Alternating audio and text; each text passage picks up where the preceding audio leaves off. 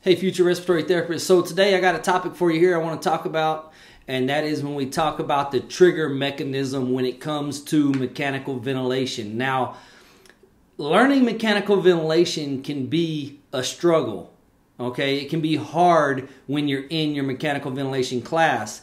And then when you apply it, when you get into the clinic setting, it can sometimes become even more complicated. But my goal today is to just break down one simple component of mechanical ventilation.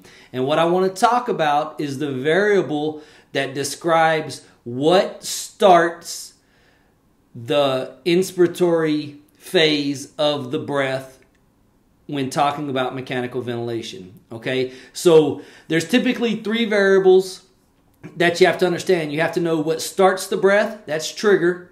You have to know what ends the breath, meaning what terminates inspiration, okay? That's cycle, okay? And then you also need to know what will not be exceeded during this mode of mechanical ventilation, and that is limit. Now, all three of those together probably could constitute another video that I can uh, probably put together for you guys uh, here relatively quickly. But today I just want to focus on trigger. How does a patient or how does the vent know when to start the inspiratory phase of a mechanical breath? Okay, now this applies to whether it's a, a mechanical breath in assist control, if it's a synchronized breath in SIMV, or if it's any type of spontaneous breath in any mode that allows for spontaneous breathing. Okay, that's what we're talking about here today. So, when you learn these modes, when you learn all of the variables with all of the different modes, it can seem like a lot, okay? Because you think about assist control, you think about SIMV, think about assist control volume control, assist control pressure control, SIMV volume, SIMV pressure, CPAP pressure support, and you have all these different you know, um, aspects of these modes that you need to know. Now, my goal here today is to simplify this one concept down for you to the very most basic level. Okay? And we're talking about trigger in every single mode. Okay? And you have to ask yourself what starts the breath? Okay? Think about a gun. How do you make a gun fire? What starts the firing of a gun? The trigger. Okay? So that's the first thing I want you to remember. Trigger is the start of inspiration.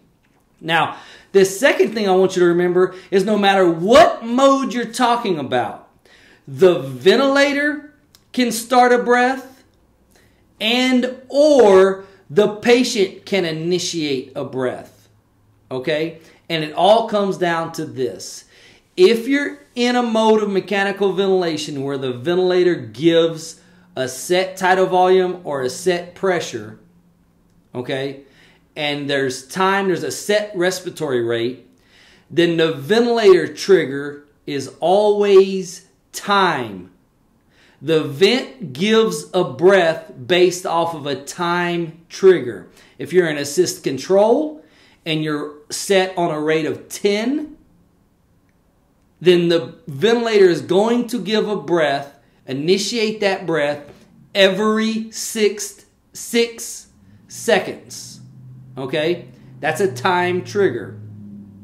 Okay? Now, if you're in assist control and the patient initiates a breath, then the vent says, okay, I gave a breath because the patient initiated it, but then the ventilator sees it as a machine breath because it's giving a set tidal volume and a set flow in assist control. Or it's given a set pressure at a set I time in pressure control AC. Okay?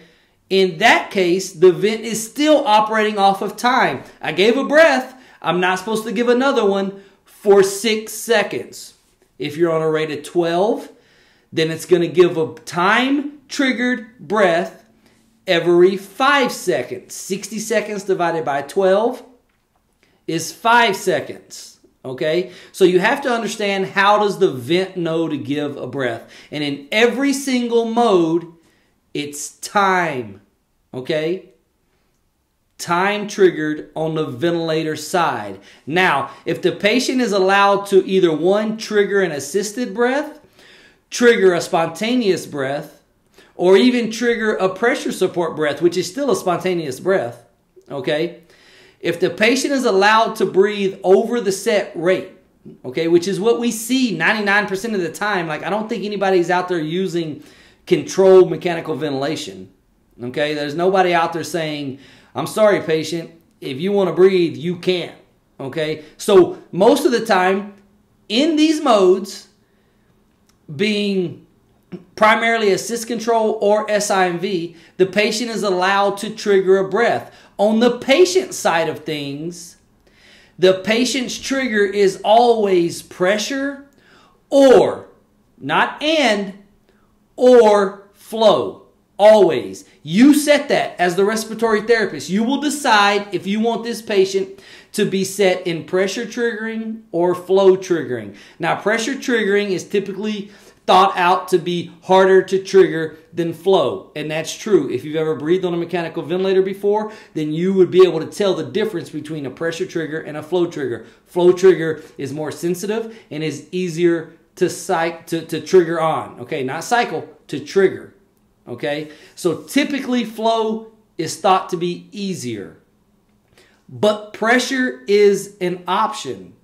Okay, now the way this works is that if the patient takes a breath and you're in pressure trigger, then the patient's diaphragm drops, intrathoracic pressure decreases, that pulls the pressure in the ventilator circuit down to the set pressure triggering set. Okay, so if you have it set at say two centimeters of water pressure, then as the diaphragm drops and it generates a negative drop in the closed circuit of minus two centimeters of water pressure, then the vent says, Oh, you want a breath? Here you go.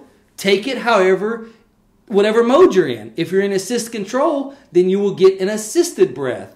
If you're in SIMV, then you will either get a synchronized breath depending on when that patient takes that makes that effort, or you will get a true spontaneous breath. Okay? But it's still triggered off of the patient's ability to, to trigger the breath off of a drop in pressure. Okay? Now, flow triggering, like I said earlier, is typically thought out to be easier. Okay? And flow trigger is another option. The way flow triggering works is that when the patient wants a breath, they will their diaphragm will drop and that will pull flow out of the circuit. Now there's a bias flow that is constantly running through the vent circuit, okay? And so if you have a bias flow of 5 liters set, okay, then the vent is sending out 5 liters and getting back 5 liters and no breaths will be given other than the vent timed breaths. Okay? But in the case where the patient's diaphragm drops, their brain says, hey, take a breath. The diaphragm drops, flow is taking away from the bias flow. The vent sent out five liters but only gets back three liters per minute. Then the vent says, oh, I'm missing flow. We have a flow setting of two. I sent out five, only got back three. The patient pulled out that two. They want a breath, give it to them. It happens like this. It's instantly, okay? It's not something that's lags or it's like, oh, the vent's got to do this calculation and then seven seconds later they get a breath. This is all happening instantaneously, okay? So when flow is lost from the circuit, the vent says, oh, the patient is sucking flow out of the circuit so it's time for me to allow that patient to breathe. If I'm in AC, then I will give them the settings that are set. If I'm in AC volume, I will give them a set tidal volume at the set flow because they asked for one. If I'm in pressure control AC, then I will give them the set pressure at the set I time. Okay?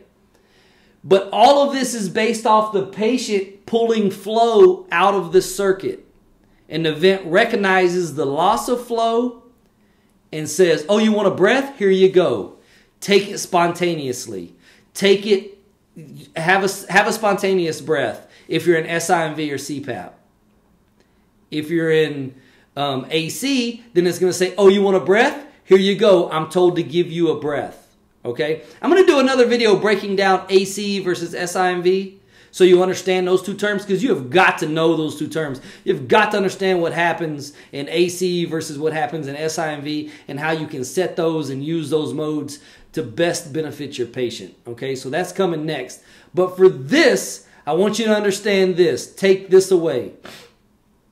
The ventilator has a job to do, and it is to deliver breaths anytime there's a set rate set.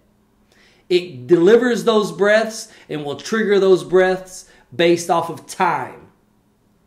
If the patient wants a breath, it will be delivered based off of a drop in pressure or the sucking of flow or the absence of flow being taken out of the circuit, which means the patient took some and the vent will allow the patient to breathe and take either a spontaneous or an assisted or a synchronized breath. Okay? All of this is over trigger. How does the ventilator know when to give a breath? When do we start inspiration? Okay? I hope this makes sense. I hope it helps. I hope you learned something. And I hope it helps to clarify things. And most importantly, I hope it helps you on your exams and well beyond that while you're taking care of your patients. Okay? Because this stuff matters. Okay? Real life example. You have a patient in SIMV and the patient is paralyzed, lots of secretions, but you still have spontaneous efforts happening. Why? Well, maybe you're in flow trigger, which we've already which we've already said is easier to trigger, and maybe you have auto psych auto triggering happening. Okay, this is when the ventilator detects that I think the patient's asking for a breath because there's an interruption in flow, and it gives a breath. In that case, you probably need to switch to pressure triggering so that the patient definitely has to drop their diaphragm, drop the pressure to know that the patient is really triggering the breath or is it an auto trigger that's happening due to an interruption of flow or your sensitivity is set too lightly okay? So you got to understand this stuff guys. It's it's it's it's what we do. It's what we're the experts in okay? So understand it. Take it to the bank. Comment questions, anything you have, I'd love to answer them. And I uh, hope you guys are having a great day. Okay?